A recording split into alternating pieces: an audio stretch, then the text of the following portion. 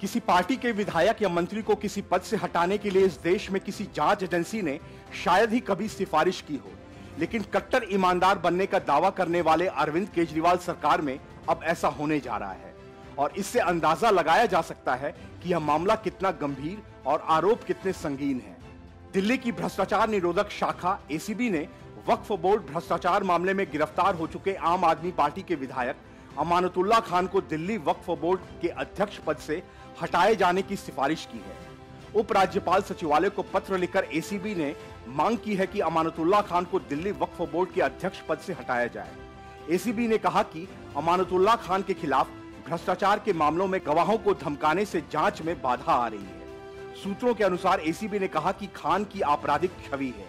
ऐसे में भ्रष्टाचार के मामले में गवाह बयान दर्ज कराने के लिए आगे आने से डर रहे हैं। एसीबी ने पत्र में कहा कि लोग अमानतुल्ला खान से डरते हैं, क्योंकि उनकी आपराधिक छवि है। इसके कारण गवाहों को उनके खिलाफ स्वतंत्र रूप से और निष्पक्ष रूप से बयान देने में बाधा आ रही है।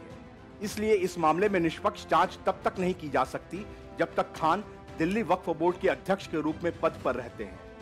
एसीबी ने जाँच पूरी होने तक खान को पद से हटाने की मांग की है।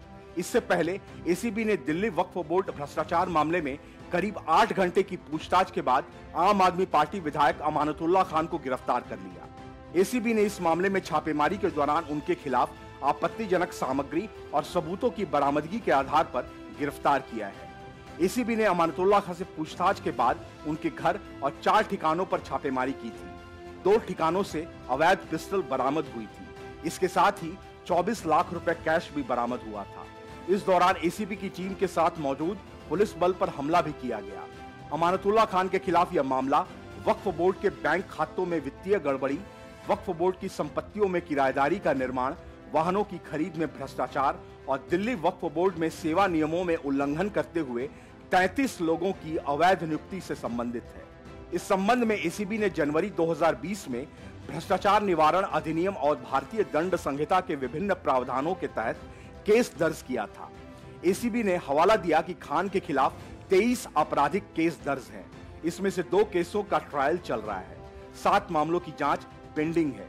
इसके अलावा एक सीबीआई समेत अन्य मामलों की जाँच विभिन्न पुलिस स्टेशनों की पुलिस कर रही है।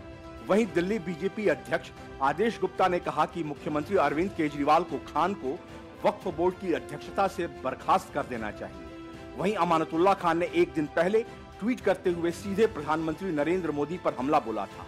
उन्होंने आरोप लगाया कि प्रधानमंत्री आम आदमी पार्टी संयोजक अरविंद केजरीवाल से डरते हैं और उन्हें परेशान करने के लिए टारगेट करते हैं। उन्होंने ट्वीट किया, मोदी जी, अरविंद केजरीवाल जी से डरे हुए हैं और उन्हें परेशान करने के लिए लगातार उनके साथियों को निशाना बना रहे हैं। चाहे मनीष सिसोदिया, सत्येंद्र जैन या फिर मैं। लेकिन मोदी जी, एक बात कान खोलकर सुन लें, हम डरने वाले नहीं। न्यायपालिका और संविधान पर हमें पूरा भरोसा है। Bureau report news of India.